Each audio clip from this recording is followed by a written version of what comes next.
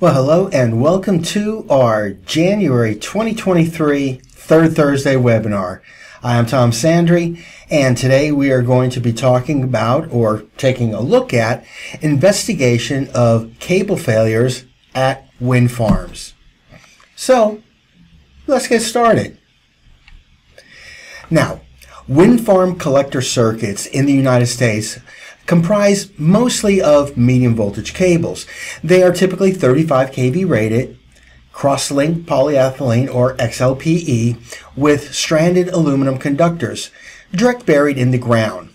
Now, many of these cable systems have exhibited in-service problems and failures which have adversely affected wind farm operating costs and reliability.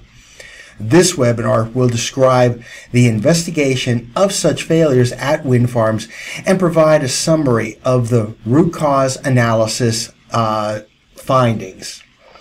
So, let's go a little bit deeper.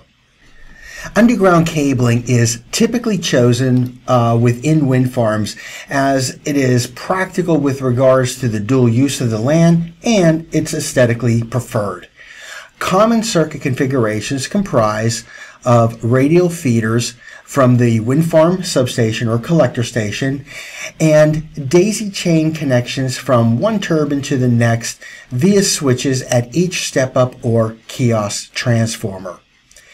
A feeder collector cable may have any number of turbines connected with the most heavily loaded cable being the section that runs from the substation or collector station to the first turbine.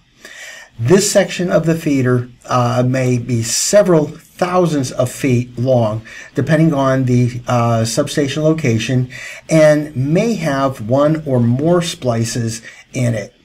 Cable size should be graded along the feeder to match the required load. Now, Let's dig into a little bit of understanding the cable system configurations. The three cables that make up a three-phase circuit can be arranged in various formations, the most common being the trifoil or triangular and the flat formation. The choice of formation depends on several factors, including the screen bonding method, the conductor area, and the space available for the installation. Now let's talk a little bit about bonding methods. The power losses in a cabling circuit depend on the currents flowing in the metallic sheaths of the cable. Reducing or eliminating the sheath currents through bonding will allow the current carrying capacity of the cable circuit to be increased. Typical bonding methods are both end bonding, single point bonding, and or cross bonding.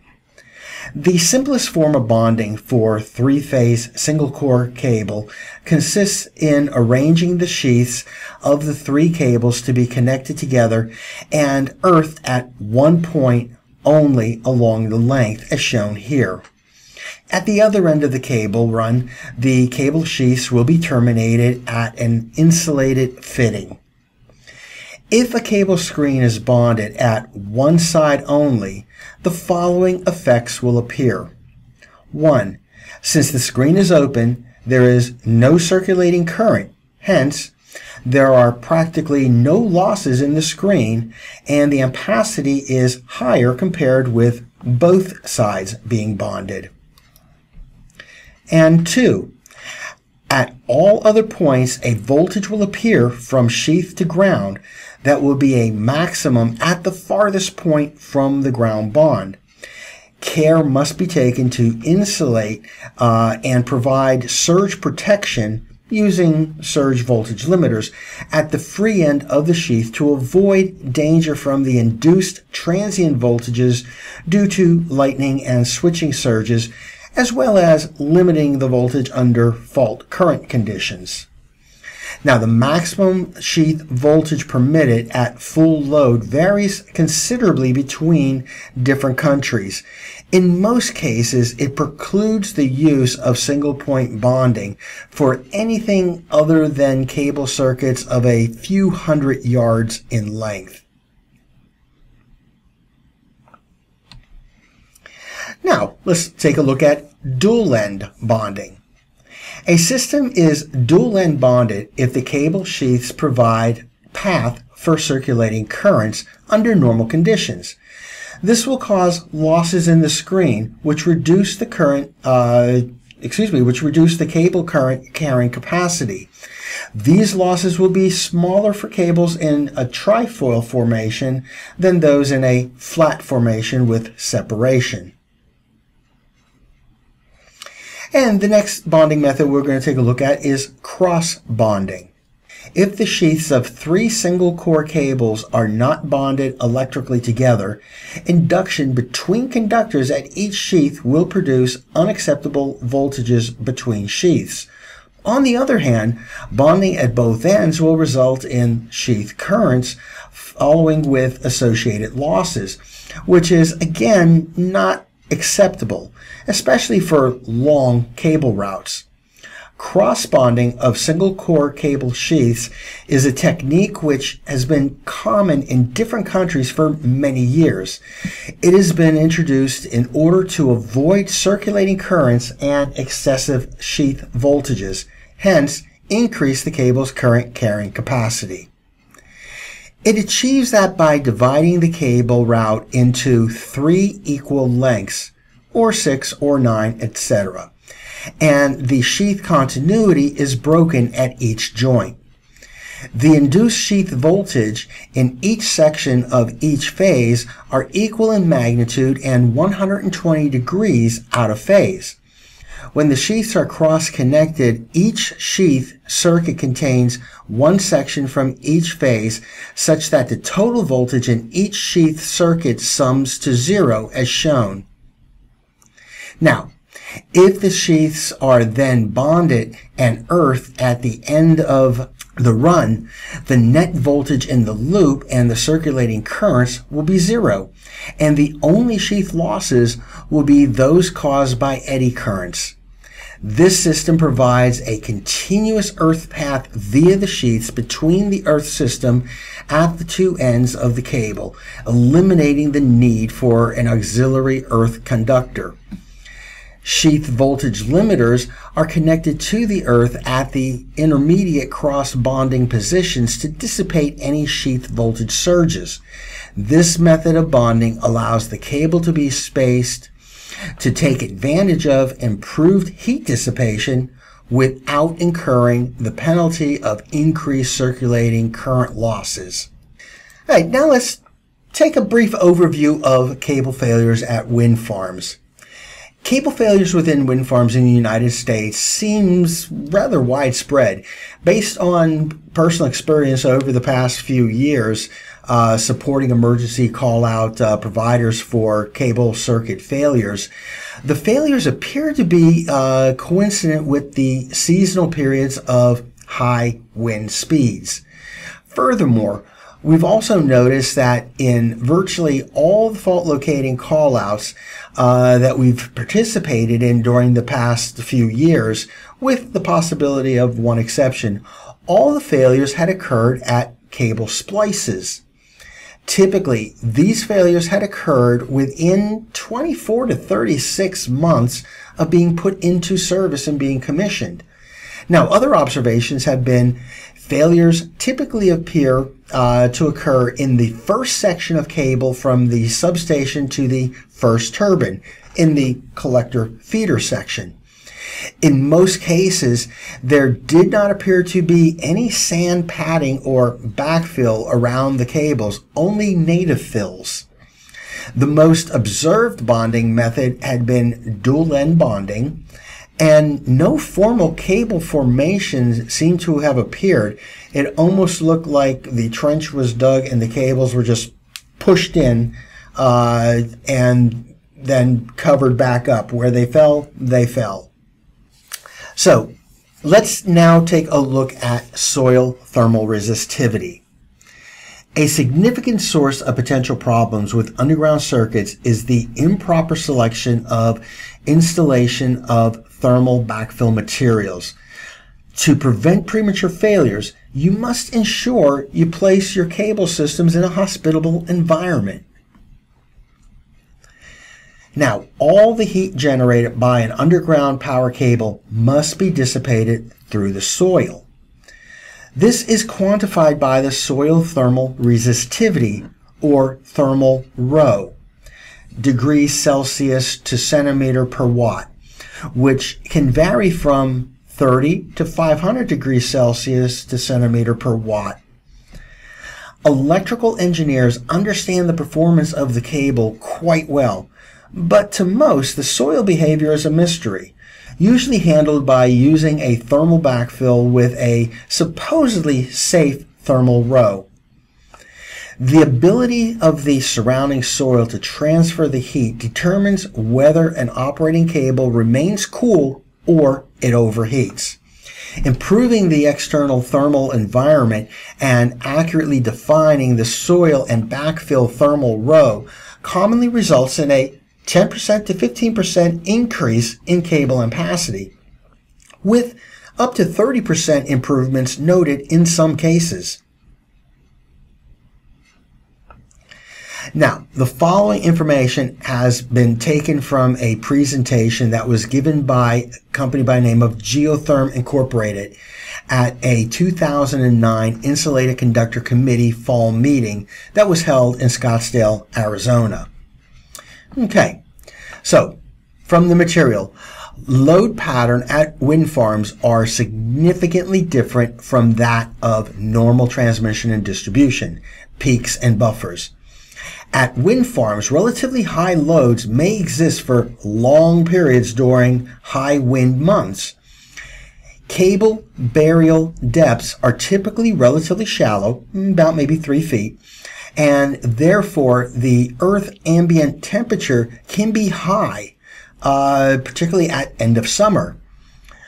Shortcuts in trenching, installation, and backfilling is a major problem because most contractors do not understand or they simply ignore the importance of the thermal environment.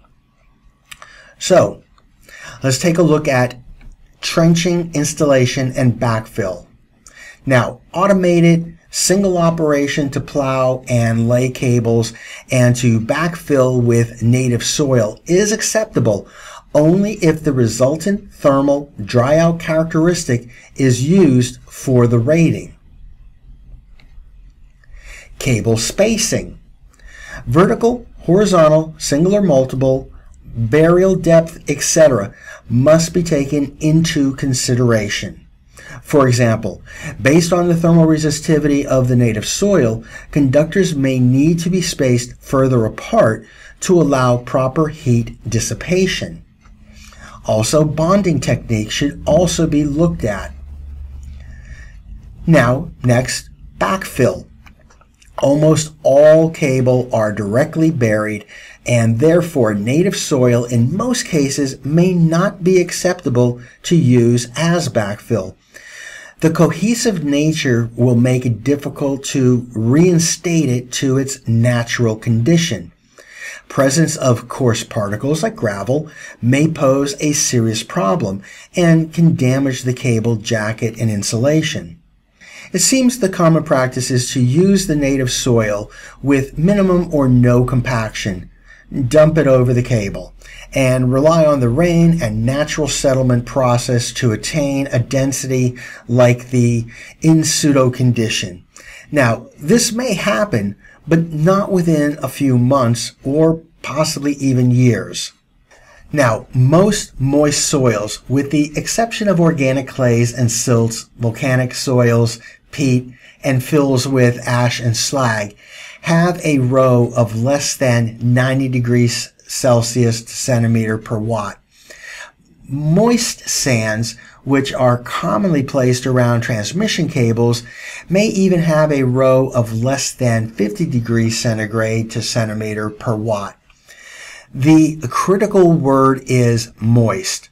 Many soils, especially uniform sands, can dry substantially when subjected to heat from the cables. The thermal rho of a dry soil would exceed 150 degrees Celsius to centimeter per watt and possibly approach 300 degrees C for a dry uniform sand. The dry thermal rho of a properly designed and installed thermal backfill should be less than 100 degrees C to centimeter per watt and possibly as low as 75 degrees C. In fact, a contractor, if left to his or her own devices, most likely would use readily available fine sand or concrete sand as the backfill. From the construction viewpoint, this sand makes an inexpensive and excellent bedding material, but thermally, it is very poor because it dries out easily under high cable loads.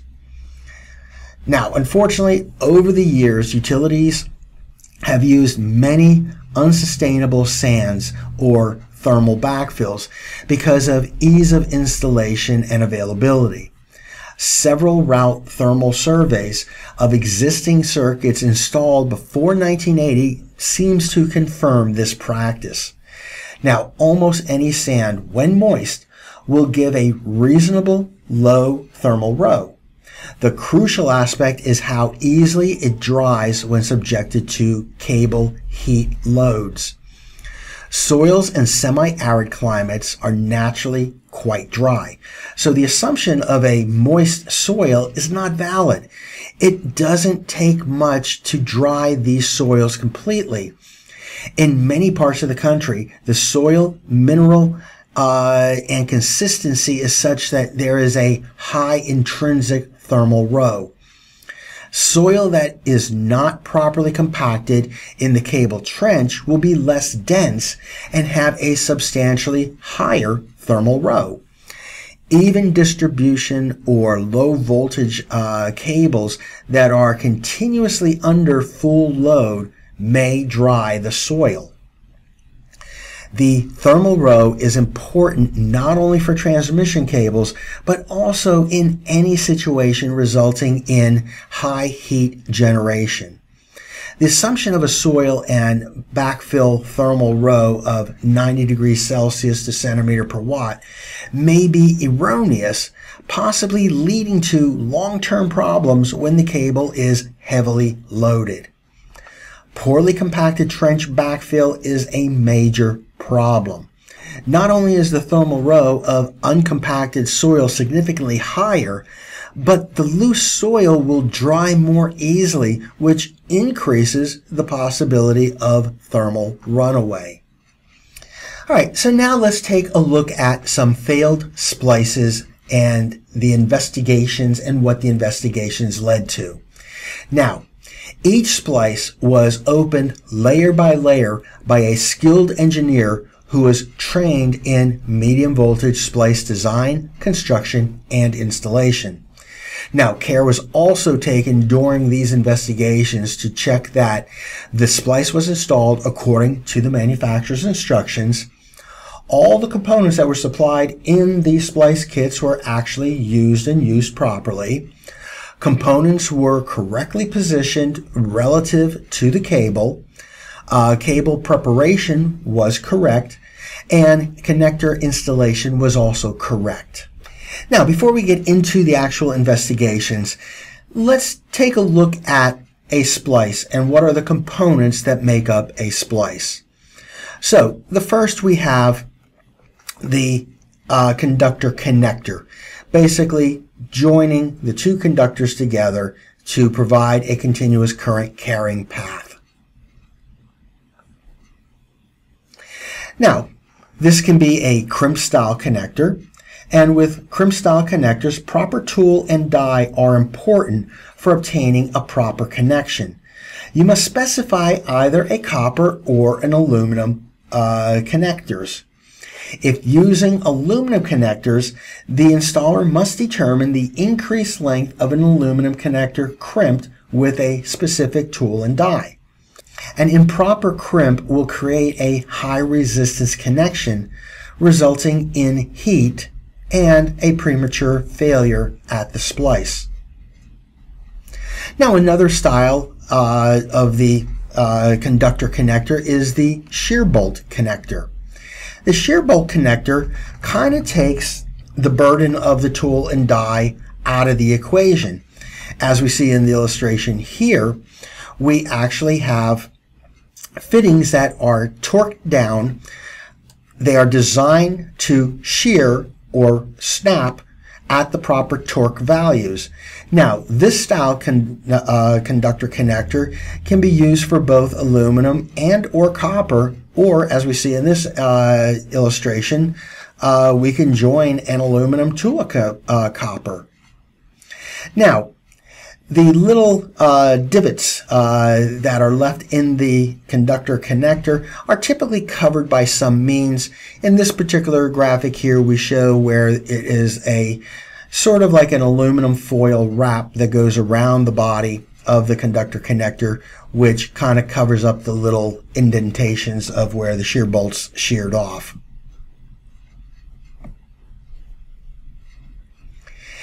Now, the next part of a splice body is a polarimetric stress controlled layer made of semiconductive compounds serving the function as the conductor shield and it is embedded in the splice body itself. The conductor shield shields the cable insulation from any air surrounding the conductor strands. In a splice, the semiconductive layer also shields the insulation material of the splice body from any air surrounding the joined conductors. This is very important since air gaps will lead to ionization and partial discharge activity, which will prematurely fail the insulation of the splice. Now, the next part uh, of the splice body is the high quality rubber that is used to replace the cable's insulation. Next, the outer layer of the splice body serves the same function as the cable's insulation shield. It encases the splice body insulation and is composed of the same semiconductive material as the splice body's conductor shield. It serves a similar purpose as the conductor shield and shields the insulation from air that might cause ionization and partial discharge activity. Next, we have another conduct, uh, connector which joins the concentric shields together and creates a continuous uh, concentric shield throughout the splice. Covering and protecting that, we have a padding that goes on the outer body of the splice and pads against the abrasiveness of the uh, concentric neutral and the connector. And then finally, a protective sleeve or jacket that protects the entire assembly. Now, to get a little bit better visual, let's watch a video on a splice being built.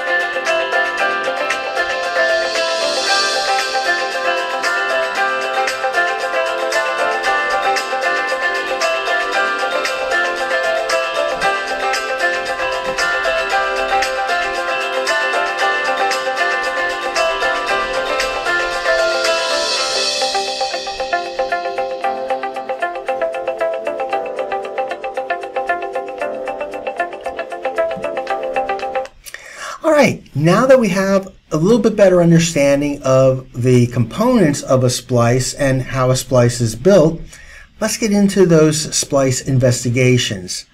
Now, in investigation number one, the failure occurred on the first cable section between the collector uh, system station and the first turbine.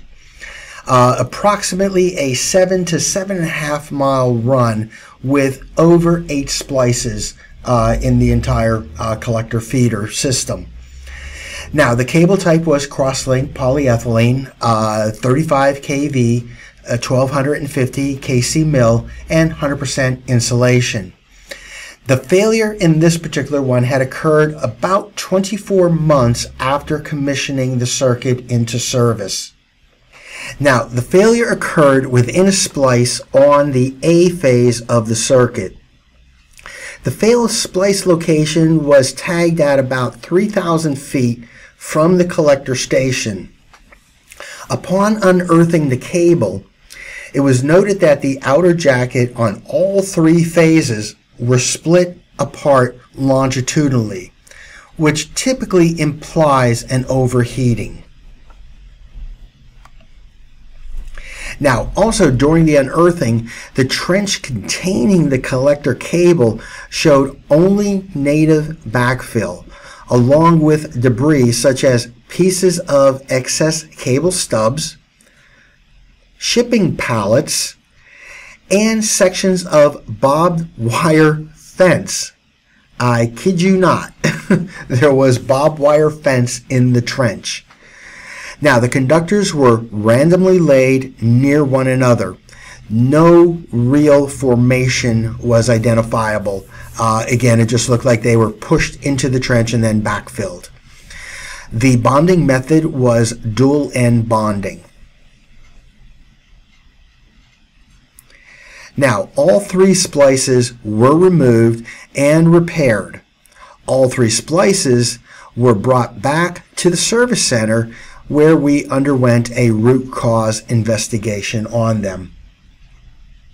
The splice failed at the end point, as splices are designed to do.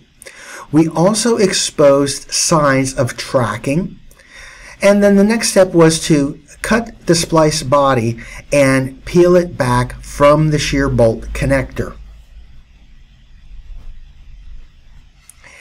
As we peeled away the splice body, we immediately noticed that the aluminum tape had been drawn or sucked into the shear bolt recesses, and the splice body was being sucked or drawn in as well. Now, this is an indication of very high levels of heat. As the aluminum tape is drawn in, the sharp sheared edge of the bolt punctures the tape and also punctures the semiconductive layer of the splice body. Now, what is most likely to occur when a sharp conductive point protrudes into a dielectric? We establish electrical treeing and partial discharge activity.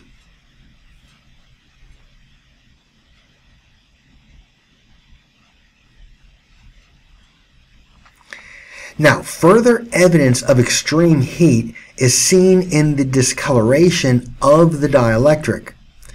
Now, again, if you remember the video on watching the cable being assembled or the cable splice being built, typical cross-linked polyethylene dielectric color is almost white in color.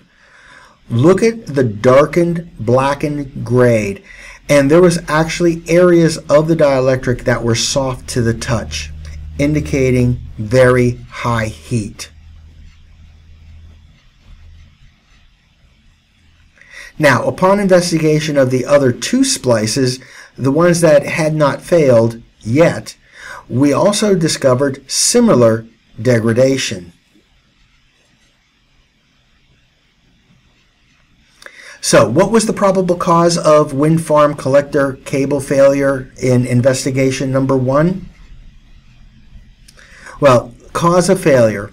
excessive heating of cable, uh, which caused the shear bolt assembly to deteriorate and fail prematurely.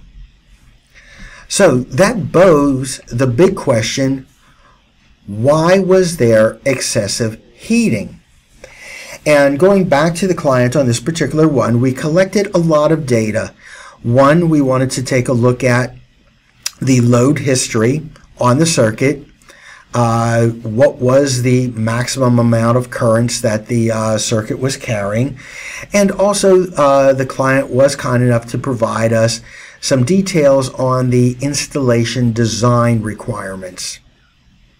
Now, during the service call, upon identifying the faulted splice, we collected a soil sample at the excavation site. This sample was brought back to the service center and tested for thermal resistivity. The sample was tested using the thermal needle probe procedure as defined in ASTM D5334-14, standard test method for determination of thermal conductivity of soil and soft rock by the thermal needle probe procedure.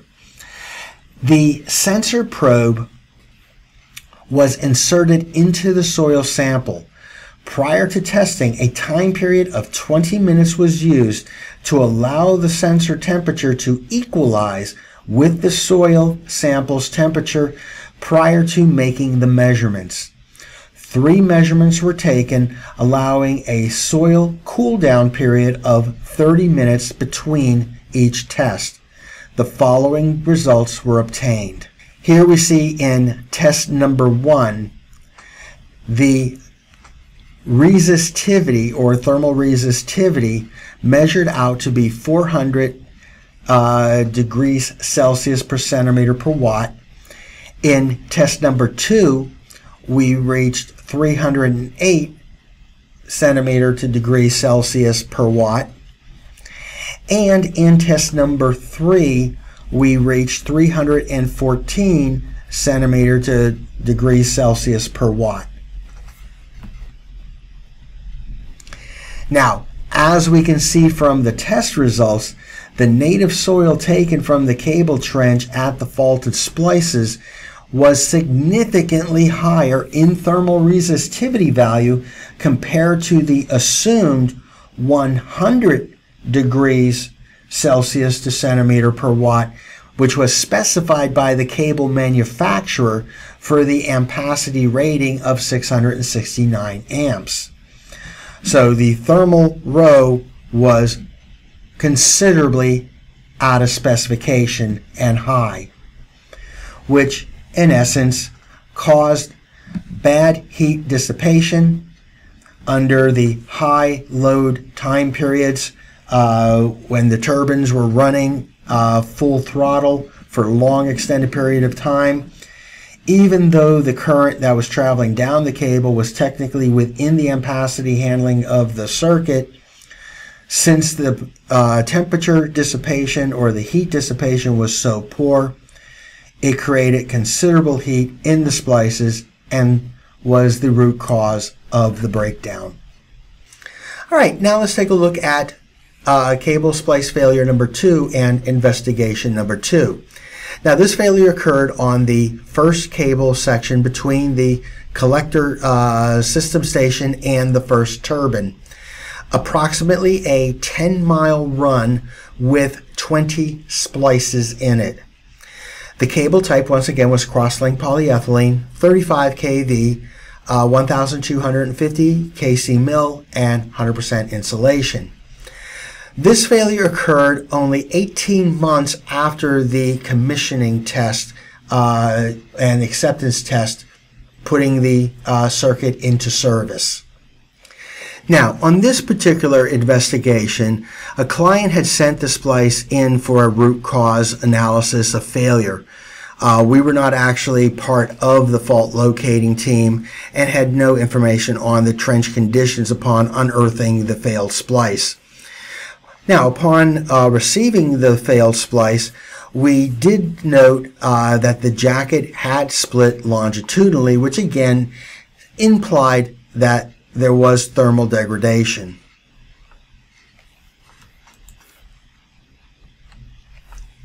Now, upon cutting away the cold shrink jacket that was covering the cable neutral uh, wire bundle, we immediately noticed that the conductor connector was not properly aligned in the center of the splice body. So here kind of marks the center of the splice body.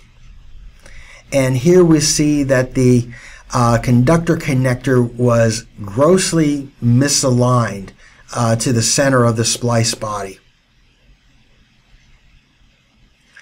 We then located the fault point, which was located at the cable body's end transition.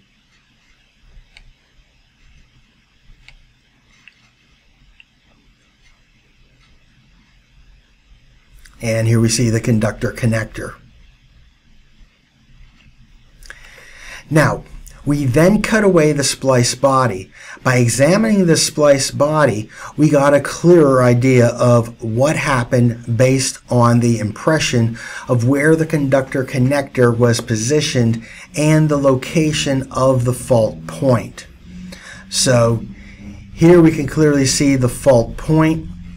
Here we see the semiconductive material that is designed to help create a Faraday cage uh, for the conductor connector, eliminating any difference of potential, eliminating any ionization or partial discharge.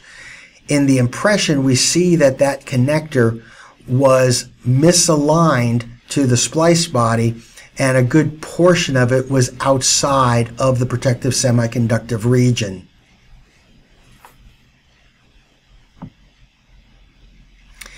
Here we also see that there was some thermal buildup and was beginning to cause delamination.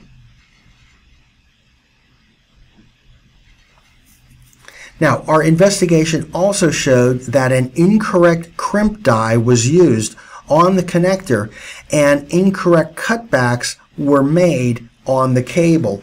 So here we see what an ideal crimp would have looked like uh, and set of cutbacks. Here we kind of see the improvised uh, cable conductor connector uh, and the cutbacks. So, what was the possible cause of wind farm collector cable failure investigation number two? Simply put, poor craftsmanship. Were there other factors? Possible. But regardless of the formation that was being used, the bonding method, or soil resistivity, this splice was going to failure due to the poor craftsmanship issues. So there might have been other contributing factors that also helped accelerate uh, how quickly the splice failed.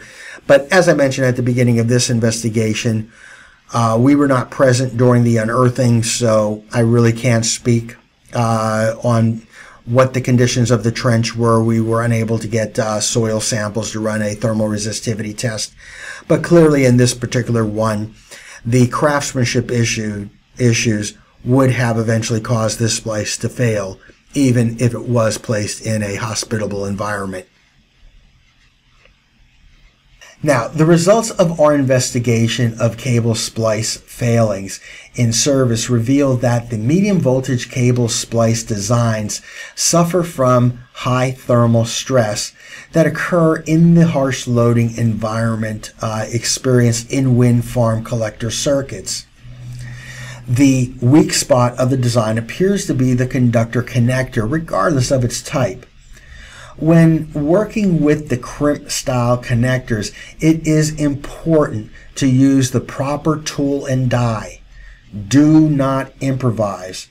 A poor crimp will result in a high resistance connection, which under current flow is going to create an IR drop and generate heat in that splice body.